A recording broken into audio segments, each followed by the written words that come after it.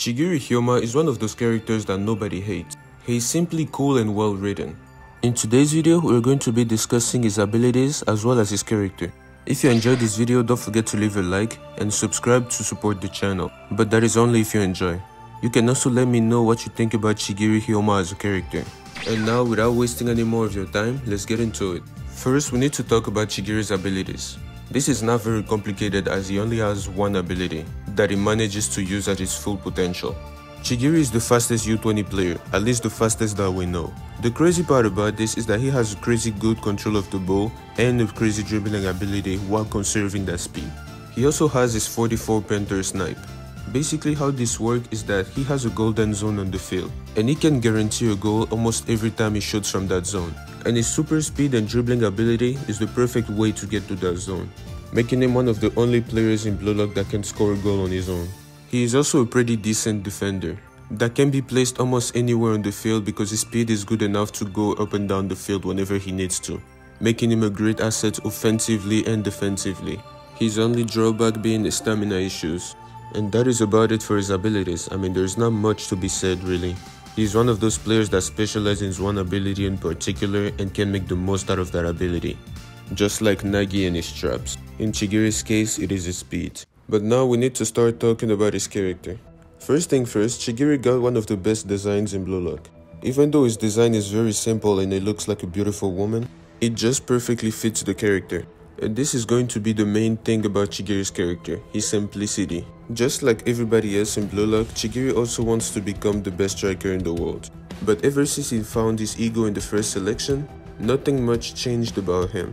He's still the chill person he used to be, and he still wants to conquer things with his speed. Chigiri is one of those characters that do not really need a character development. I'm not saying that he didn't have any development, but what I'm saying is that his character was already perfect and he's simply growing from that same route. There was nothing that needed to happen to him to change his character just like Reo, Isagi or Kunigami. Those characters went through a lot throughout the series. Chigiri simply kept playing football and kept growing, he didn't go through much trouble. Every time we meet Chigiri again, he either got faster or found something new to complement his speed. The real shift in his character was before Blue Lock, because Chigiri has one of the best backstories in all of Blue Lock. What really makes his character interesting is the reality of injury in sport. It is very frequent that a character or a person gets injured and whenever he comes back to the sport, he cannot like use his full potential anymore. It could be by fear of injuring again or simply because his body got too weak to support his full ability. In Chigiri's case, it is the fear part. Getting injured the first time and then learning that if he gets injured the second time, he probably wouldn't be able to sprint ever again. Chigiri unconsciously locked himself up, not allowing himself to sprint again by fear of getting injured. But even though football was making him sad, he still had a lot of love for it, which is the main reason why he joined Blue Lock. He couldn't just abandon the sport that he loved. So Blue Lock was basically the last hope, the last chance, the point for him to decide if he stays in football or if he simply gotta stop. He came here completely ready to give up. He didn't want to share his ability with anybody and didn't really want to talk much with anybody. He'll even play as a defender where he didn't have much to do. But after encountering Isagi, after having a discussion with Isagi, after seeing him play, and after seeing how big his ambition was, Chigiri realized that he simply couldn't give up and decided he was going to sprint until those legs of him gave out. After that, he became the character that we know, literally sprinting his way out of every situation on the field. And this is what we love about Chigiri's character.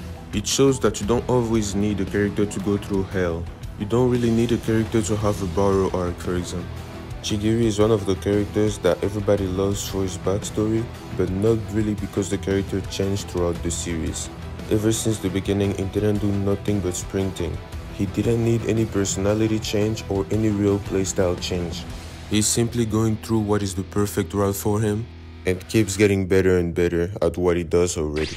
Next, we need to talk about Chigiri's stats. He has one of the most insane stats that we've seen yet.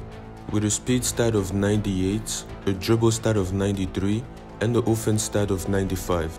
These being his S-class stats. Crazy enough because he's the only character with 3 S-class stats that came from Blue Lock. Even Kunigami, Nagi and Baro that have a higher overall only possess 2 S-class stats. He also has a shoot stat of 88, which is almost a 90, meaning almost S-class. And I wouldn't be surprised if by the end of the Neo Egoist League he reaches a S-class stat on his shooting too. And he has a passing stat of 80. And these are his two A-class stats. A-class is far from being bad but it is not necessarily the highest we can have. Unlike a lot of other players, he doesn't have a B-class stats because his defense stat is a C, being a 68. But this is not an issue because Chigiri was never made for defense. His speed is a good enough ability to allow him to help the defense whenever he needs to.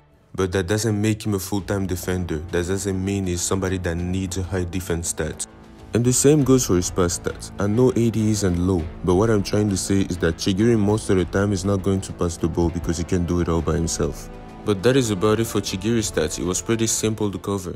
But now we need to talk about how good Chigiri actually is.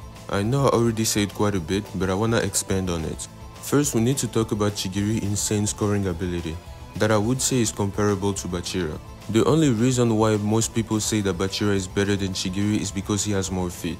But if we try to compare them, they will probably be on a similar level. Chigiri has an insane but very simple goal formula. All he has to do is get to a specific zone and shoot the ball from that zone and he can almost never miss. And what makes getting to that zone even easier is his crazy speed, meaning that he can pretty much guarantee goal. And if instead of Nagi, Manshine playstyle was focused around Chigiri, he could have been an even more dangerous demon. And the next thing I want to talk about is Chigiri's surprise effect. Almost everyone after playing against Chigiri for the first time gets completely destroyed.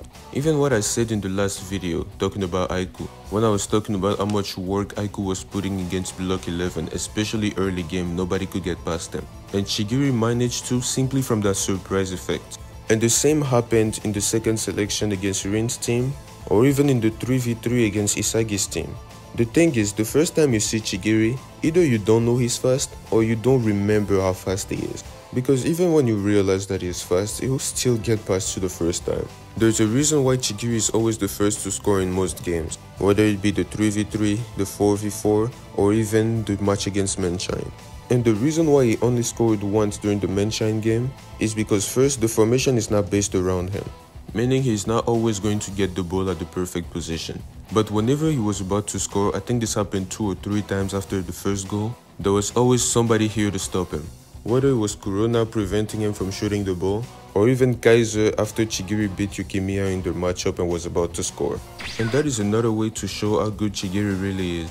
Because whenever he scores that first goal I'm talking about, the whole team understands how dangerous he is, and they refuse to let him breathe for the rest of the game, not letting him the chance to score anymore, which is the main reason why I think Chigiri is better than Nagi. Because even though the system is being based around Nagi, he is wasting too many chances. Any other pure striker, whether it's Kaiser, Baro, or Kunigami, whenever they receive the ball in the right position, you can be sure they will score. But when it comes to Nagi, it is never the same. But I understand that is because he is mid-evolution. At the moment, Manshine's system is being based around Nagi for different reasons than the others. It is based around Nagi for potential only, and only because they find his character and his playstyle amusing and they want to exploit it and get it to the next level. It is not because they trust him to guarantee goals for their team. And as Reo said, it is possible that they even lose for that reason. So to summarize my point, Chigiri is a better player than Nagi because he's a way more consistent player. And because Nagi has help from his old team what Chigiri doesn't. But that could just be my opinion. Let me know what you think in the comments. I hope you all enjoyed this video and if you do, don't forget to leave a like and subscribe, but only if you enjoy. And I will see you all next time. Peace.